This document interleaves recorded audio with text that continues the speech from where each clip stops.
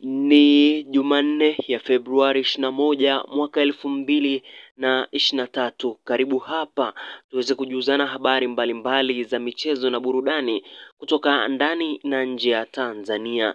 Kama ndo mara yako ya kwanza unafika katika chaneli hii, ni kuombe kusubscribe kisha kubofya alama ya kengele iliyoko hapo juu, ili wa kwanza basi kupata zile taarifa tetesi za usajili pamoja na makala mbalimbali mbali ambazo huwa tunazipakia hapa.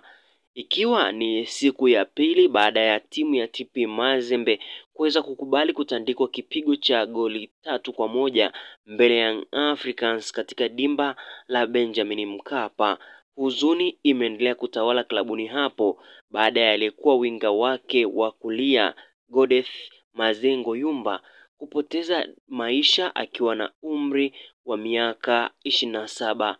Taarifa kutoka kwenye klabu ya TP Mazembe juu ya winga huyu ambaye alikuja na timu mwaka elfu mbili na ishirini na moja wakati TP Mazembe alikuja kushiriki michuano ya Simba Super Cup. Amefariki dunia wakati akiitumikia timu ya SC Don Bosco ya nchini humo ambapo alikuwa akicheza kwa mkopo. Kupitia taarifa hiyo inasema the TP Mazembe has learned with deep sadness of the of the death this Monday, February 20th, evening of the goddess Mazengo Yumba.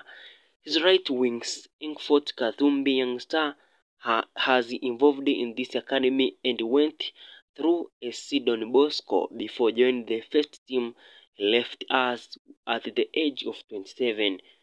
Very moved at this sad news, President Moise Katumbi offers his sincere condolences to his family and loved ones, calling on the entire Mazembe family to carry him in prayers.